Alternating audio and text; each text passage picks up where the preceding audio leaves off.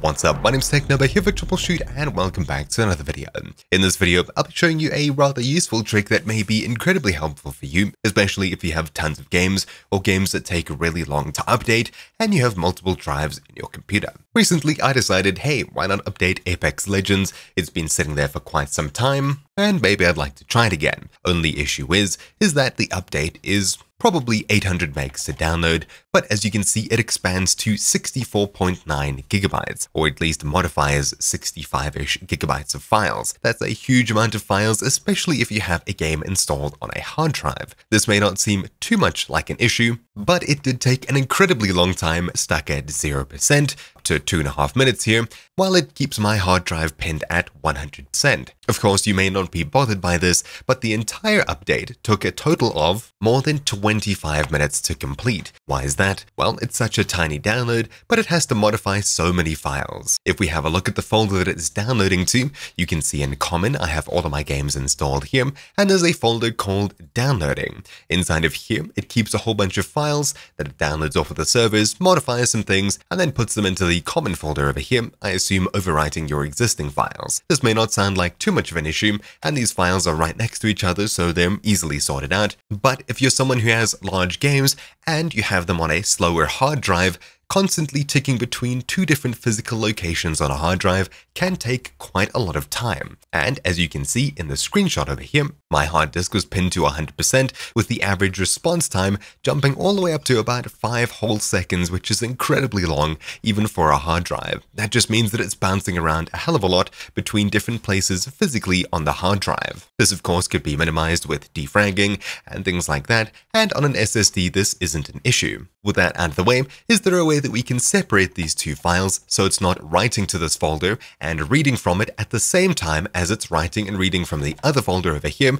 making the needle go crazy jumping around on the hard drive physically? Well, actually there is a way to move files and folders without actually having programs get confused about where they've gone. You can already see a strange icon over here. The method I'll be talking about is called symlinking. Essentially, you copy or move a folder from one place and you tell the computer, hey, make a link from this folder so that it looks like a normal folder, but instead, all of the files in this other drive in this other place. If you're someone like me and you have a slower hard drive for games and things like that, storage, and you have a much faster SSD for temporary things like video editing and things like that, or you just have quite a bit of extra space on your hard drive, this may be something you want to try out. We can speed up downloads really dramatically inside of Steam. In fact, over here, I was timing, as you saw, I had a timer going in those screenshots. I backed up the entire Apex Legends folder and cancelled right before the end of the update so I could restore it and do another test with symlinked folders. And as you can see, pretty much a 10 times reduction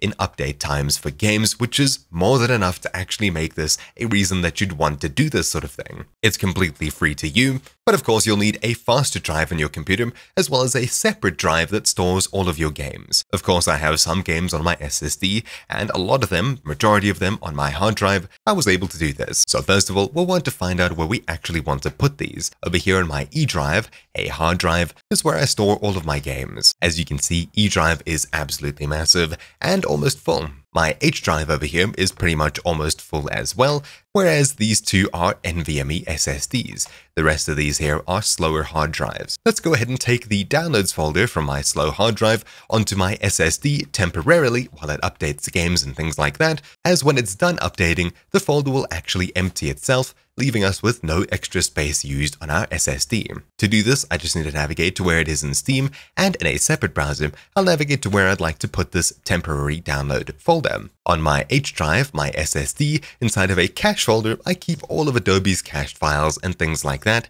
and now I also have Steam Downloading and Steam Depot Cache. All you have to do is make two folders in here, you can call them whatever you want, but just to differentiate them from other things on my computer, I've named them Steam Depot Cache, hence the strange icon. This folder is linked here, but it actually exists on this drive over here. The Steam downloading folder would be linked to the downloads folder over here, but I haven't actually linked it just yet. To tell Windows to link these two physical places on two different physical drives, we'll need some command line experience or preferably a program that'll do it for us. I'll be using the link shell extension which I've shown countless times before. Simply click download at the top of this page which you'll find linked in the description down below, then scroll down a little bit and download the Win64 version if you're on Windows 64 or Windows 32 if you're on Windows 32. Then simply open it up when it's done downloading and follow through with the installation. You'll eventually be asked to restart Windows Explorer, your screen will probably flash black, and when it comes back, all of your folders should be closed. You'll need to navigate back to these two places here.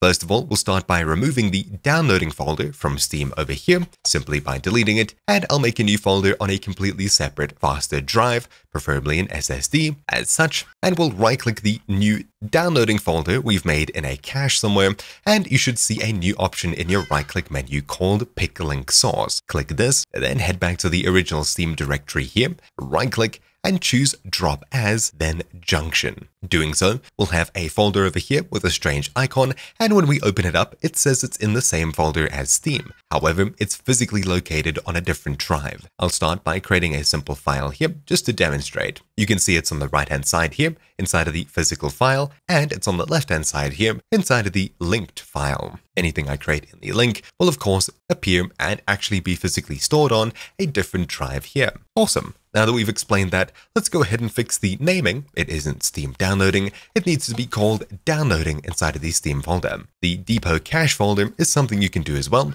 Create a Steam depot cache, right-click, pick link source, and drop it here as a junction once again, and rename it depot cache. Anyways, now that we've actually done this, you can reopen Steam if you've closed it at all, and because we deleted the downloading folder, if you currently have a download going, Steam's going to be very confused, so do make sure you pause downloads here, and preferably exit Steam entirely before you do this. When you have done this, however, you'll see that opening the downloading folder on my other SSD over here, and I tell a game to update, you'll see the update starts, and here are the files on my SSD. It then downloads very quickly, and because it's working on two separate drives, there's movement on my hard drive and there's movement on my SSD as well. There's not a ton of things going on here and it is reading in huge bursts as it's all going into RAM. But if I was updating from one disk to the same disk, jumping between two places really quickly could cause quite a bit of confusion for my computer, or at least rather quite a bit of lag time on my hard drive where the response time jumps through the roof and everything becomes super slow.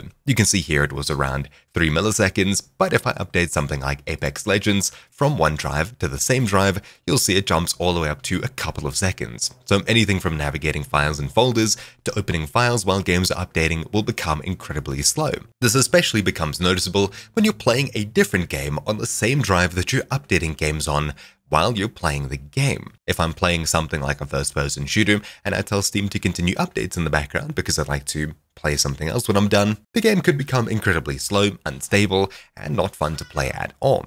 Instead, where it's just writing to that disk instead of reading and writing and reading and writing again, it's completing one task instead of four, things can be a lot more responsive. Of course, this may break when a Windows update comes out, but the most that it'll break is probably replacing the downloading folder over here with an actual folder instead of a symlink. So if at some stage you decide to check and you see that the little icon has vanished, you can simply just create the same link once again and things will go back to being fast. Of course, this is very unnecessary, but if you're someone who has to do a ton of updates for a ton of installed games, well then hey, this could be something that's very useful to you, especially if they're super slow updating games such as Apex Legends. Anyways, that's really about it for this quick video. Thank you all for watching, mine's been TechNobo here for TroubleChute, and I'll see you all next time. Ciao!